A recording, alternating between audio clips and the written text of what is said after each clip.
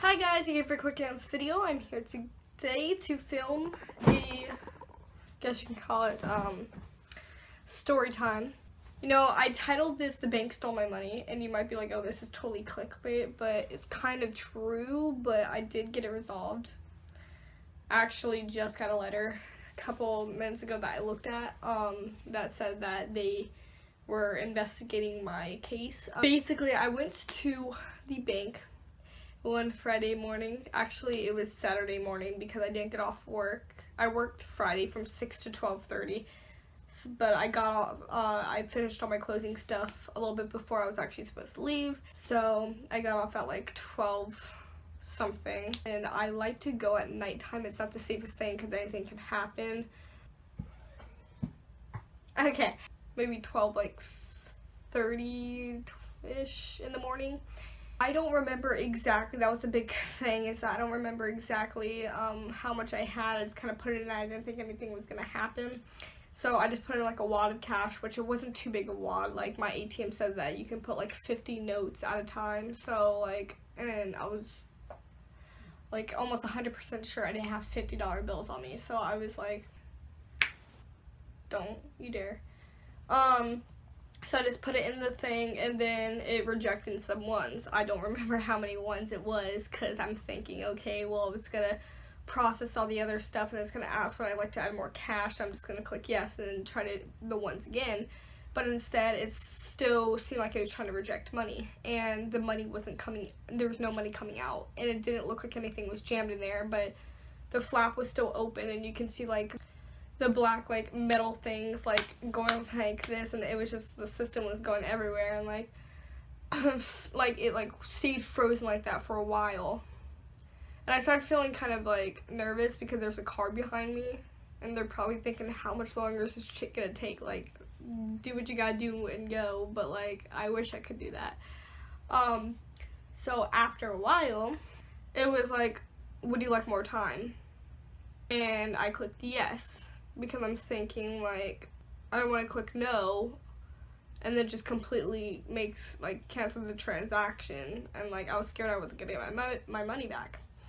So it stayed frozen. It was still saying please take your rejected money, but again nothing was coming out.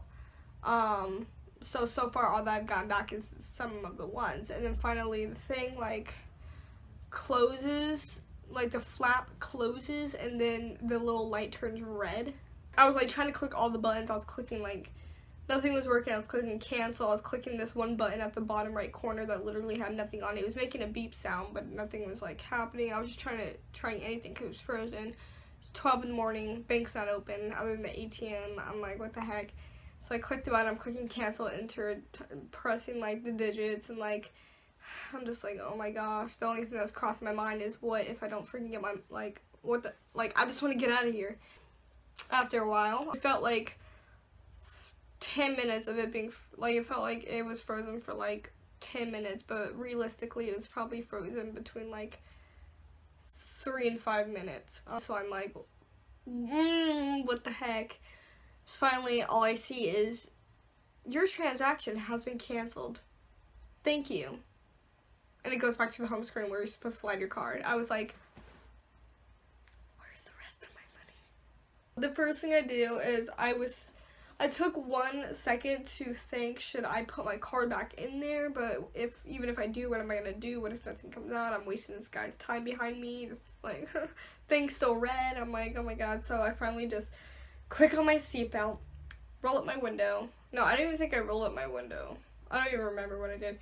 And then I put it in drive and I go in the parking lot and park. And I didn't even bother calling my mom well, I already knew what she was going to say, which was going to be, you shouldn't have gone at that time of night, blah, blah, blah, blah, blah, and I was already in a bad mood after this. She said that, I was just going to get really mad. So I was just like, okay, I'm just going to call my dad, which my dad, the only thing he can do is give me advice, because he doesn't even live in this country right now, which is uh, United States.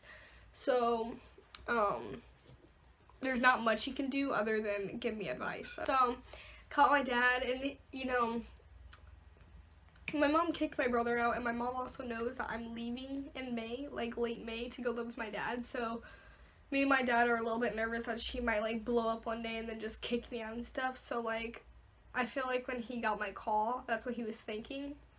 Um, because like 12, by this time it's like 12.30 in the morning. Um, I literally just call him and he's like, hello. And I'm like, hey, are you, are you, are you available? And he's like, I'm at the mall, why? And I'm like, so basically, blah, blah, blah, but I didn't want to tell mom because I already know what she's going to say. She's going to make me mad and blah, blah, blah. And he was like, my only suggestion to you, call, try to call a 24 hour ATM line.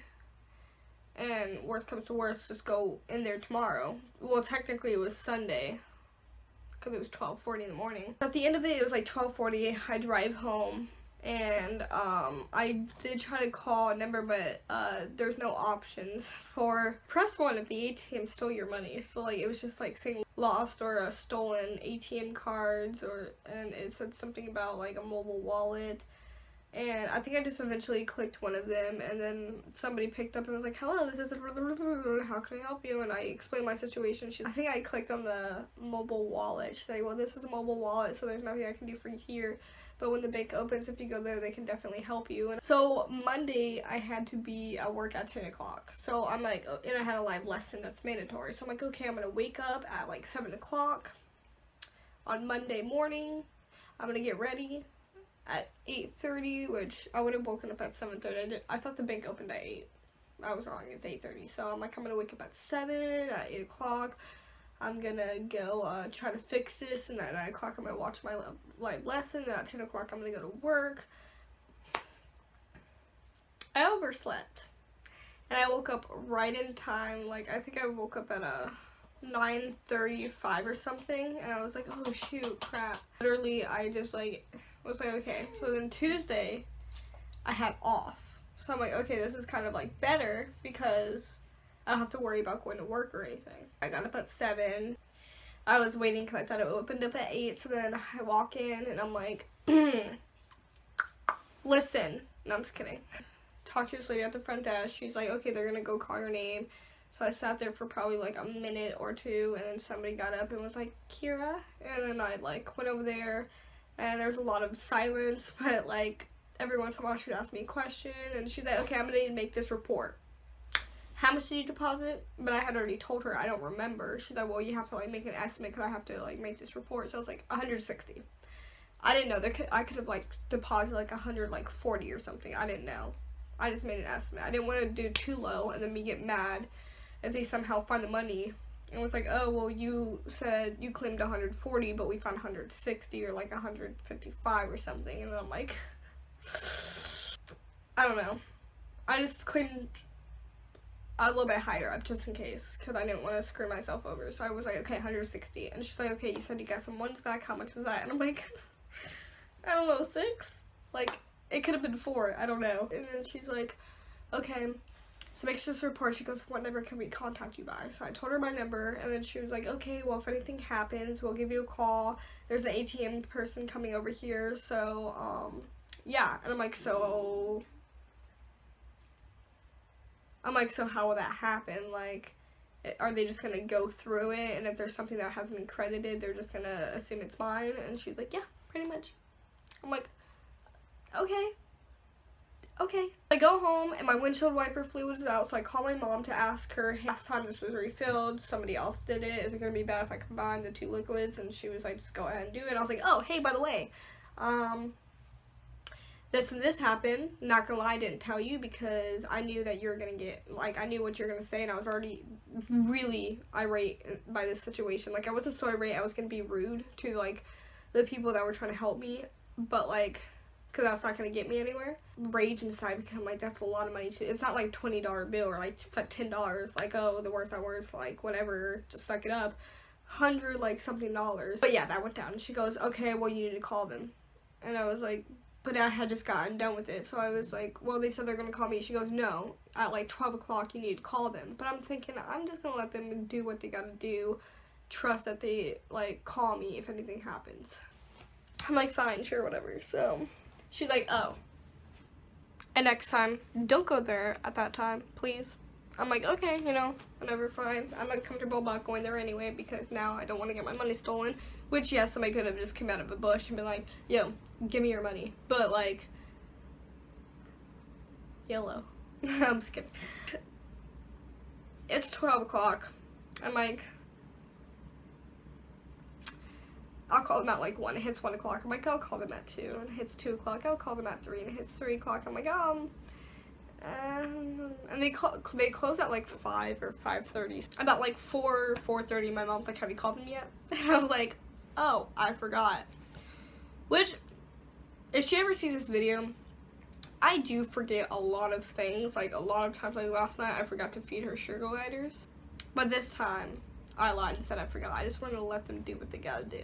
So eventually, I finally call, and it, like, it just kept popping up with all these, you click one button, it's like, and it brings up like five more options, then you click a button, and it brings up more options, and of course, it's trying to bring you to the direct department and exactly what you're looking for, but like, like, I wasn't hearing any options for your deposit didn't come back out with the rest of your uh, rejected money. So like eventually I just like started clicking on the closest things that I felt like were to my situation and finally somebody picks up and was like, hi, how can I help you? And I was like, listen, so um, I don't know if I got the right department, but this happened. And then I was like, um, but I'm just trying to figure out an update.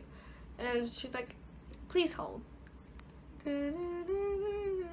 Yeah, that like kind of elevator music going on and ring ring. Uh, for something purposes, your recording, your call might be recorded for quality assurance. And then like somebody, some dude picked up that was talking really fast and like, I was like, yeah, so this and this happened. And then he was like, okay, can you please uh, say your member number? And like my wallet was in the car and I was in my living room. So I was like, please wait. And I was like, hold on. He's like, sure. So I go out and while I'm in my car, I say my member number. And then he's like, why is my hair sticky? I'm sorry, ma'am, you're breaking up. So I get out of my car and I do, and I was going towards my house, but then my dog started barking like crazy. And keep in mind, I have like six dogs in my house right now. Five of them are mine. So like, there's a lot of. It's not like one dog barking that you can just be like, hold on, shut up, shut up. No, it was like, shut up, shut up, shut up, shh, shh, shh, shh. And I didn't feel like doing all that. So I just stood outside my house and I was like, okay, can you hear me now? And he's like, yes, ma'am. Told him my member number and he's like, please verify your birthday. I please verify your first and last name. And then I did that and he's like, please verify the last four digits of your social security. So, so, social security. Then he was like, um, it says that they already made um a $160 adjustment. And I was like, oh, okay. Thank you. And he's like, thank you, ma'am. Please uh, make sure that you uh look at that to make sure everything's right. And then thank you for calling. And I'm like, okay, thank you, bye, beep. So I looked at it and it was saying adjustment, but it didn't say pending, but I was still like iffy about it. Like, what if it's not really in my bank account yet and it's just saying that they're like doing something about it? So I was like, okay, that's cool. So I texted my mom, and my mom co-owns my account because I'm not 18 yet. And so I told her that I'm I see it, but I'm not sure if it's actually in my bank account because I remember how much was last in there. And she looked on it and she's like, yeah, it's in there and stuff. it's funny. It's funny because I just got this today. And this letter is actually basically updating me about it, but it's the only reason why I say it's kind of funny is because usually when I get letters, get letters from my Suncoast, I throw them away because they're usually just like paper forms of my history of what things I bought and stuff. So I almost threw it away, but then I was like, you know what, I'm just gonna open it look at it, and I got this letter basically updating me about it. And all it says, Dear Kira Tilke, we have started our investigation regarding the following disputed transaction. Some information, and then I disputed 160. We have carefully researched the details of the disputed transaction and have determined that the transaction is in error. Which that part confused me. I'm like, is in error. I don't know if they're trying to tell me that I'm whatever. Anyways, since you were issued a provisional a provisional credit, no further action is necessary, and your dispute shall be considered resolved. Sincerely, disputes department. How come I could have reached the disputes department when I was first trying to see what's up with my bank account? Okay, that happened. I got my hundred sixty dollars. Lesson learned, don't go there at nighttime. My hours make it to where pretty much I don't really have time to go like like if I get off at four, yes, I have time to make it to like the bank to where if anything happens, I can just run inside and be like, hey, your ATM just stole my money. But the traffic is really bad, and nobody likes to do that because it's rush hour traffic. people are like their light turns red and there's people like in the middle of the intersection because they didn't get all the way through and it's just horrible like pretty sure new york city isn't even that bad and i've seen that's the worst traffic i have ever seen in new york city here in florida they're like hmm i see a green light and then they're like in the middle of the intersection but it's so stopped up that like they can't go all the way through they're just like stuck there and so anybody else can't go through and then there's horns honking and like I just don't like to go there, so I'm like, okay, I just like to go at nighttime. But now, lesson learned. I was really scared that they were gonna tell me, oh, sorry, we can't do anything about that, and I would cry myself to sleep because that's a hundred something dollars I just lost. But they, you know, they helped out and stuff. They they might have literally gave me more money than I actually did. I don't. I highly doubt they gave me less money than I actually did. But like, you know, it's my fault. I should have counted it. I know this was um a long story time, but thank you guys for clicking on this video. If you liked it, click the like button. If you like me, subscribe, comment down below, check out my channel. Have a great day.